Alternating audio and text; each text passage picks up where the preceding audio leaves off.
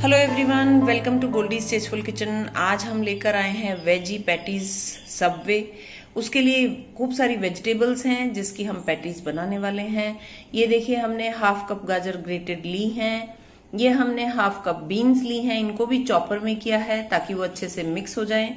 और half cup ही हमने frozen मटर को बॉईल करके क्रश कर लिया है। और ये हाफ़ कप हमने प्याज ली है। ये एक टेबल स्पून हमने गार्लिक और जिंजर का पेस्ट लिया है। और इंग्रेडिएंट्स कितने कितने हैं ना, मैं आपको बता दूँगी डिस्क्रिप्शन बॉक्स में। तो आप इसकी चिंता मत कीजिए, जब भी डिस्क्रिप्शन बॉक्स में जाएँ और चेक कीजिए। ये दो कप हमने ठंडे आलू करके उनको ग्रेट कर लिया है, ताकि पानी मॉइस्चर उसमें ना हो। ये हमने कुछ मसाले लिए हैं, मसाले लिए हैं, ये बाद में डालने वाले हैं। भुना जीरा पाउडर है, अमचूर है, और ये आपका धनिया पाउडर है। ऊपर से हमने लिया है ये काला नमक आ, सफ़ेद नमक और ये न, काली मिर्च पाउडर और ये चाट मसाला। तो कितना कितना डाला है ना वो मैं आपको बताती हूँ। ये ली है हमने हरी मिर्च। एक हरी मिर्च को बारीक काट लिया है। ये ऑप्शनल है।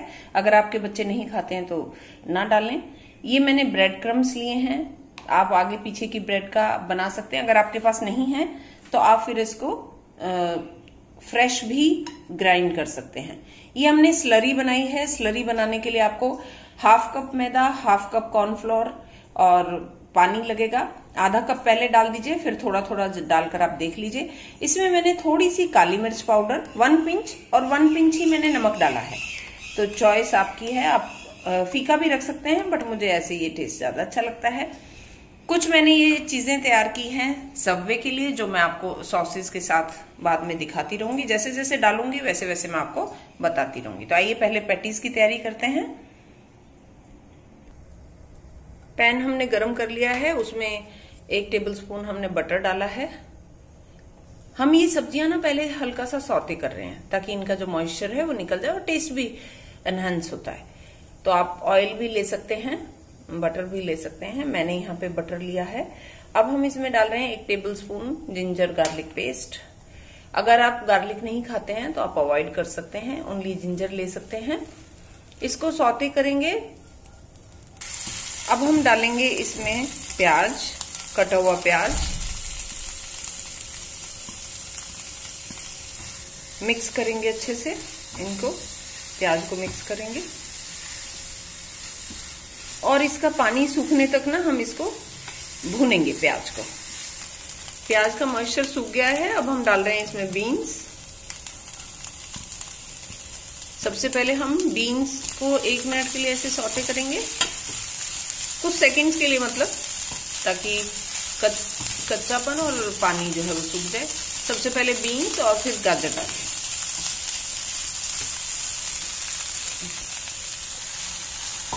गाजर को भी हम मिक्स करेंगे।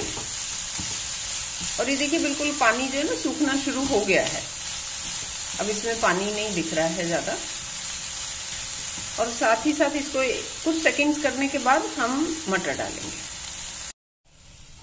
ये इस पर हमने कटी हुई हरी मिर्च डाल दी है और ये मटर डाल दिए हैं। इनको अच्छे से करते हैं मिक्स और ये जो मसाले हमने रखे हैं ना, नमक, काला नमक काली मिर्च पाउडर, ये सब हम अभी इसमें डाल देंगे और इसको मिक्स करेंगे।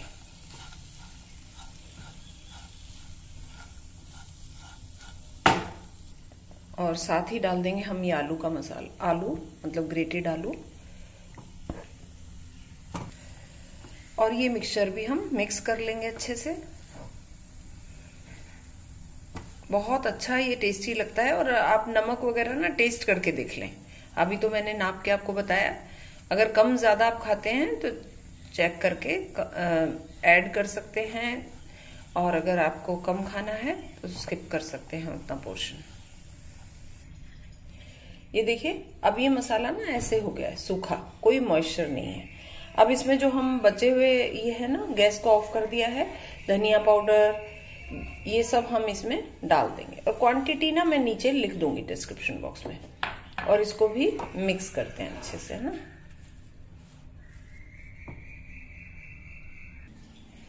ये देखिए, हमने one fourth cup bread crumb लिया है और थोड़ा थोड़ा ना हम इसमें डाल के मिक्स करेंगे। इसका ना कोई ये नहीं है कि ये इतना ही डालना है। आपके आलू में कितना मॉइस्चर है, आपकी सब्जियों में कितना ये एब्जॉर्ब कर लेगा। और टिक्की आपको बना के देखना है। और सबसे बड़ी बात है कि जब आप टिक्की बना लें, आपको लग रहा है कि ये मॉइस्चर ठीक है बिल्कुल। फिर भी आप एक डीप फ्राई करके देखिए। अगर वो बिखर रही है तो आप थोड़ा सा ब्रेड क्रम और डाल दीजिए और फिर उसको बनाइए।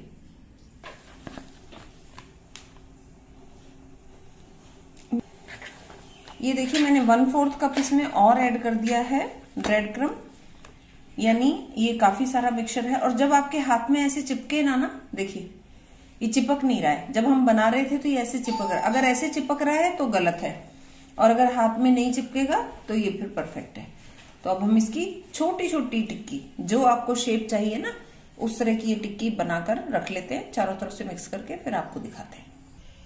तो ये देखिए हमने छोटी छोटी टिक्की बना ली है और मैं यहाँ आपको बताऊँ ये नाइन टिक्की बनने के बाद भी ना हमारा ये आ, मसाला काफ़ी सारा बच गया है। ये देखिए मैं आपको दिखाऊँ। क्योंकि मैं बहुत ज़्यादा क्वांटिटी में बना रही हूँ ना तो आप इसको हाफ़ कर सकते हैं। यानी हाफ़ अगर आप लेंगे ना इसका तो आपकी दस ग्यारह ग्यारह टिक्की बन जाएँगी है ना? तो आप उस तरीके से जितनी छोटी बनाएँगे ना तो हर बाइट में आएगी आप उसको लगाएँगे तो। तो ये हमारी है स्लरी तो सबसे पहले हम इसमें डिप करेंगे। टिक्की। ठीक है? आपके हाथ गंदे ना हो, इसलिए आप रखेंगे इसमें। और इसको वापस ऊपर से ऐसे टैप करेंगे। ठीक है ना? तो उससे क्या है? आपके हाथ चिपकेंगे नहीं। चारों तरफ़ से ऐसे घुमाते हुए ऐसे टैप कर देंगे इसको। तो ये देखिए, जब ये ऐसे हो जाएगी तो बहुत क्रिस्पी बनेगी। तो हम छोड़ते हैं इसको तेल में। मीडियम हॉट ऑयल हमको रखना है, बहुत ज़्यादा गर्म नहीं रखना। तो इस तरह से हम सारी टिक्की इसमें डालते जाएँगे और बनाते जाएँगे। आप बनाकर रख सकते हैं। पहले बनाकर रख लीजिए और फिर डाल दीजिए। ये देखिए। तो ये फटने के कोई चांस ही नहीं है। ध्यान से आपको करना है। ये देखिए, इसको हम ऐसे पलट लेंगे। यानी हमारी जो टिक्की है वो परफेक्ट है। बिल्कुल भी फटी नहीं है। तो मीडियम हॉट ऑयल पे आपको इसको फ्राई करना है। ये देखिए, हमने इसमें ये निखारने के लिए रख दी हैं। ये देखिए, तेल सब निकल गया इनका। कितनी बढ़िया कलर आया है। और नीचे हमारी दूसरी सिक रही है। तो आप इस तरह से इनको सेकिए। बहुत बहुत यमी ये लगती हैं। आप अकेले स्नैक्स में भी इनको खा सकते हैं। पैटीज बनने के बाद अब हमें सॉसेज और ये लेके इनको असेंबल करना है। ठीक है? मैंने ये हॉट डॉग टाइप जो आते हैं ना, वो लिया है। आप लॉफ लेके उसको हाफ़ हाफ़ कट भी कर सकते हैं। तो ये भी एक आइडिया है कैसे बनाना है सबवे का टेस्ट लाने के लिए।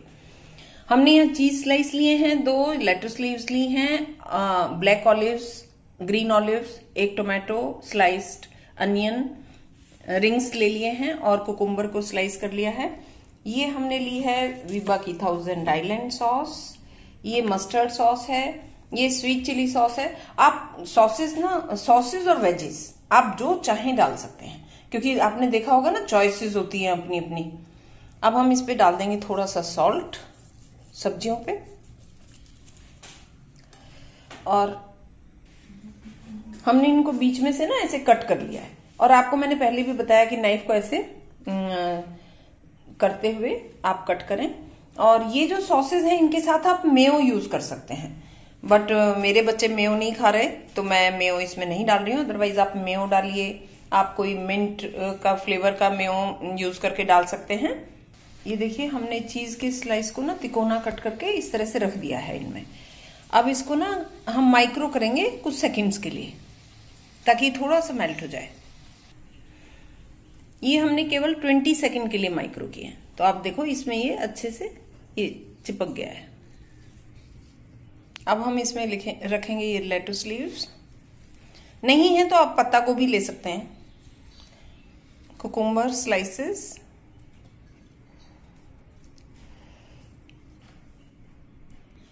ऑनियन स्लाइस और ये टिक्की। टोमेटो स्लाइस ऐसे लगा देंगे हम, पहले टोमेटो स्लाइस लगाएँगे। ठीक है। हमने कैप्सिकम के भी कुछ रिंग्स काट लिए हैं, ये भी फ्लेवर बहुत अच्छा आता है कैप्सिकम से। अब हम लगा रहे हैं थाउज़ेंड आइलैंड सॉस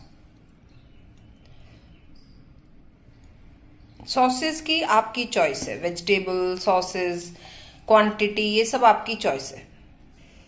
ये थोड़ी सी हम इस पर लगा रहे हैं मस्टर्ड सॉस ये अब हम डाल रहे हैं स्वीट चिली ऑप्शनल है, आप चाहें तो डालिए, नहीं तो स्किप कर सकते हैं।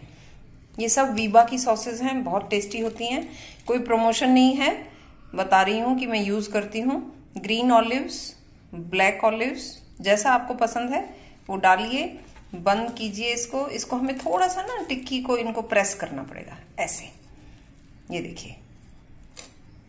कितना बढ़िया सा ये तैयार है। ऐसे ही हम दूसरा भी असेंबल कर रहे हैं। ये देखिए लेट्यूस आप बाहर की तरफ़ भी थोड़ा सा निकाल सकते हैं और ये अलग अलग पीसेस करके भी असेंबल कर सकते हैं। क्योंकि ये ऊँचा हो जाता है। बहुत सारी वेजीज होती हैं, टिक्की होती है।